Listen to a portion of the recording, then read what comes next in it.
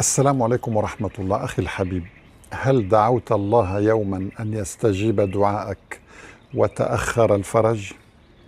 هل ابتليت يوما بضيق الرزق فدعوت الله وكانت النتيجة أن البلاء قد زاد؟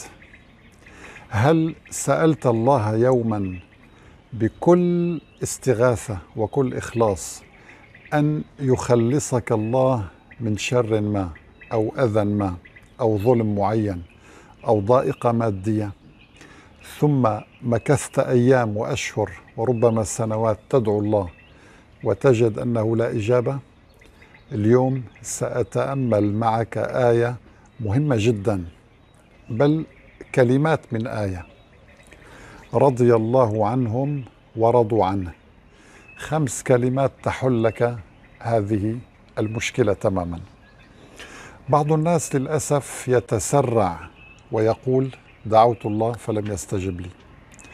بعض الناس كأنه يسخط على الله فيقول ماذا فعلت حتى يبتليني الله سبحانه وتعالى. بعض الناس يقول لماذا أدعو الله ولا يستجيب؟ وقد يصل ببعض الناس إلى الإلحاد يقول اذا الله غير موجود كيف يرضى بالظلم؟ كيف يرضى بقتل الأطفال؟ كيف يرضى بهذه الأوبئة والأمراض؟ كيف يرضى بالفقر والذل؟ كيف يرضى بإنسان يصاب بأمراض كثيرة جدا؟ ولا يشفى على الرغم من أنه يستجيب. اذا الله غير موجود. انظر معي. أين بدأنا وأين أصبحنا؟ يعني بدأت بدعوة الله سبحانه وتعالى والثقة به واللجوء إليه والاستغاثة به. ولكن عندما لم تحدث الاستجابة التي تريدها أنت قد يتطور الوضع إلى الإلحاد والعياذ بالله. وهذا ما يريده الشيطان. أنا اليوم سأتأمل معك هذه الكلمات الخمسة أخي الحبيب رضي الله عنهم ورضوا عنه لتدرك هذا السر الذي أدركته أنا وأدركه الكثيرون ممن تذوقوا حلاوة هذه الآية. وكل ما سنقوله مبني على القرآن الكريم والسنة النبوية المطهرة. إنسان ابتلي بضائقة مادية. فبدأ يدعو الله سبحانه وتعالى.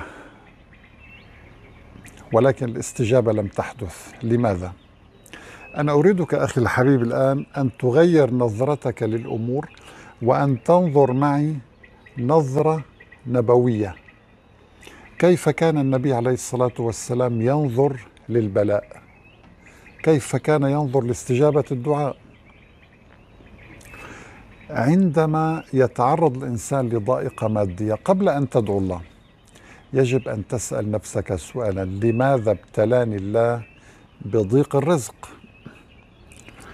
إذا سألت البشر من حولك سيقولون لك آه، هناك ضائقة اقتصادية في البلد أو أنك لا تعمل أو أنك كسول أو أو أو يردون الأسباب كلها إما لك أو للبيئة المحيطة بك أو للظروف الاقتصادية بشكل عام.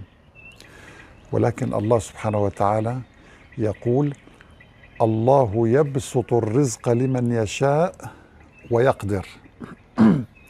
يوسع ويبسط لمن يشاء ويضيق ويقدر على من يشاء. اذا ما دام الله هو الذي يضيق لابد أن يكون هناك حكمة. دائما أي مشكلة تتعرض لها أخي الحبيب أول شيء التجئ إلى الله. وابحث عن الأسباب. طيب لماذا اختارني الله عز وجل؟ ليبتليني في هذا الوقت بهذه الضائقة المادية. إذا لابد أن هناك سبب وأن هناك شيء أراده الله. طيب في كل القرآن إذا قرأنا القرآن آه، يريد الله بكم اليسر ولا يريد بكم العسر. كل آيات القرآن تدل على أن الله يريد لنا الخير ويريد لنا السعادة ويريد لنا الحياة المطمئنة. هذا الإله العظيم يحبنا. وإلا لما لما خلقنا أصلا.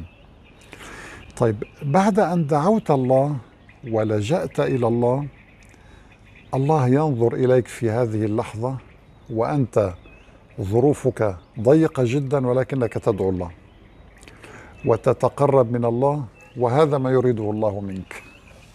لاحظت أخي الحبيب اذا هنا أنا بدأت أدرك سببا مختلفا تماما عن الظروف المحيطة بي. أن الله لماذا اختارني ليبتليني بضيق الرزق؟ اذا الله عز وجل بما أنه يحبني اذا هذا الإله العظيم أراد أن يسمع دعائي. أراد أن يسمع ذكره على لساني فهو القائل فاذكروني أذكركم. واشكروا لي ولا تكفرون. أراد أن يسمع التجائي له عز وجل وتذللي أمامه وخضوعي له سبحانه وتعالى لأن لأن هذه عادات الأنبياء أن يكون عبدا لله سبحانه وتعالى متواضعا ذليلا بين يدي الله يسعى لمرضاة الله ولمحبة الله. المفاجأة أن الرزق لا زال ضيقا بل أن البلاء ازداد. وبدأ هذا الشخص يتعرض لمرض مثلا على الرغم من أنه يدعو. يعني ضائقة مادية ومرض أيضا سبحان الله. طيب هنا هنا قوة الصبر تبرز هنا قوة التحمل. بدلا من أن أقول في هذه الحالة طب يا رب لما تبتليني بدلا من أن تكشف عني ضيق الرزق ابتليتني بلاء آخر ماذا فعلت؟ هنا يبدأ الغضب والسخط على الله عز وجل والعياذ بالله يظهر من داخلك. ولكن إذا علمت أن الله يحب أحبك وأحب أن يسمع دعاءك ولكنه أحب أن يرفع منزلتك عنده فابتلاك بهذا المرض. بما أنك دعوت الله وبدأت بالتقرب من الله فكلما تقربت أكثر الله يحبك أكثر. وبالتالي أراد الله أن يرفع منزلتك عنده فابتلاك بهذا المرض. طيب هذا المرض ماذا فعلت أنت الآن؟ عندما تعلم ذلك سترضى وستقول يا رب أنا رضيت بهذا البلاء ويا رب اكشف عني الضر وسأبقى أدعوك مهما بلغت من البلاء. بعد فترة تجد أن الله قد يصيبك أيضا ببلاء آخر ظلم تتعرض له من أهل بيتك أو أذى تتعرض له من قريب لك أو في عملك. أو حتى من أقرب الناس إليك. طيب هنا يبدأ الشيطان يتدخل يقول لك انظر لو كان الله موجودا لاستجاب دعائك. لماذا تدعو الله والبلاء ينزل أكثر؟ في هذه الحالة أخي الحبيب يجب أن تنظر إلى البلاء على أنه هدية من الله لك. عندما تقربت إلى الله أكثر بقلة المال. وعندما مرضت بلغ الله بلغك منزلة عالية عنده. في في البلاء الثالث أراد الله أن يغفر لك ذنوبك أن يطهرك من الذنوب. فابتلاك بالظلم أو بالأذى. هو التطهير لأنك تتقرب من الله. وكلما تقربت أكثر يزداد البلاء أكثر. وهذا منطقي بالنسبة للنبي عليه الصلاة والسلام. بالنسبة لنا نحن إذا أردنا أن ننظر نظرة مادية دنيوية نقول هذا ظلم. ولكن الله عز وجل يريد أن تصل إلى مرحلة الرضا الكامل. فعندما تصل إلى هذه المرحلة على الرغم من عشرات الابتلاءات التي أصابتك فأنت الآن أخي الحبيب وصلت إلى رضا الله. فلا يضرك ما فعلت بعد ذلك. عندما تصل إلى المرحلة العالية جدا من الثقة بالله والرضا عن الله سيرضى الله عنك. صدقني في هذه اللحظة ستفتح أمامك أبواب الدنيا. سيكشف عنك الضر وتأتيك الدنيا راغمة قانعة. وسوف يزداد رزقك وهذا عن تجربة أخي الحبيب. واسأل من خاضوا تجربة الرضا عن الله عز وجل. رضي الله عنهم ورضوا عنه. هذه الآية إذا فهمتها بهذا المعنى سوف تصل إلى مرحلة صدقني بعدها ستكره المعصية. ستصبح هناك علاقة بينك وبين الله علاقة خاصة جدا. تنادي هذا الإله العظيم فيستجيب لك على الفور بما يحقق مصلحتك. وعندما تدعوه في أمر ما ويتأخر تستيقن أن هناك خيرا ما ينتظرني لذلك الله أخر عني الاستجابة. اذا هنا خلاصة هذا اللقاء أخي الحبيب.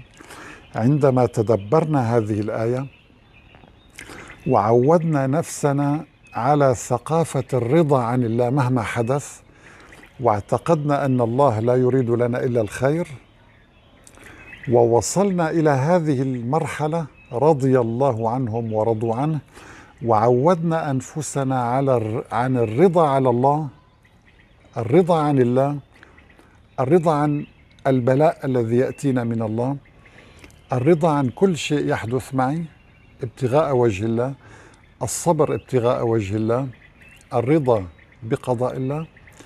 ستشعر بمتعة غريبة جدا في هذه المرحلة أنا أسميها متعة الإحساس برضا الله عنك. تشعر أن الله راض عنك. وبالتالي فعلا لا يضرك ما فعلت وسوف آه، آه، تتذوق لذة البلاء. البلاء له لذة عندما تصبر ابتغاء وجه الله وتدعو الله بإخلاص وتقول يا رب أنا سأصبر ابتغاء وجهك. المهم أن تكون راض عني فأنا راض عن كل شيء يصيبني. ما دمت أنت صاحب البلاء وصاحب الضر. وأنت القائل وإن يمسسك الله بضر فلا كاشف له إلا هو. وأنت القائل على لسان سيدنا إبراهيم وإذا مرضت فهو يشفين.